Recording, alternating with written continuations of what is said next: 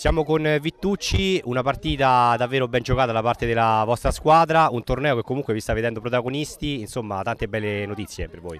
Sì, siamo soddisfatti, siamo soddisfatti dell'andamento del torneo, siamo soddisfatti dell'andamento della partita, come hanno giocato i ragazzi, come si sono comportati in campo, soprattutto ho visto che stanno recependo eh, che, quelli che sono diciamo, i dettami dell'allenamento, gli schemi, eh, comunque sì, anche se a questa età parlare di schemi è una parola grossa, però già eh, il passaggio del pallone, il portiere che rinvia passando al difensore, il difensore che eh, collabora con ehm, l'attaccante di fascia, rientro al centro del pallone.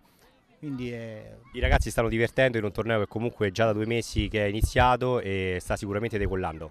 Sì, ma eh, questo è un torneo che comunque sia decolla tutti gli anni, io sono un esperto, diciamo, sono anni che vengo qui a fare questi tornei con varie categorie, è un torneo che è una garanzia, eh, decolla tutti gli anni, c'è una grossa partecipazione, un grosso entusiasmo del pubblico, dei ragazzi che si divertono.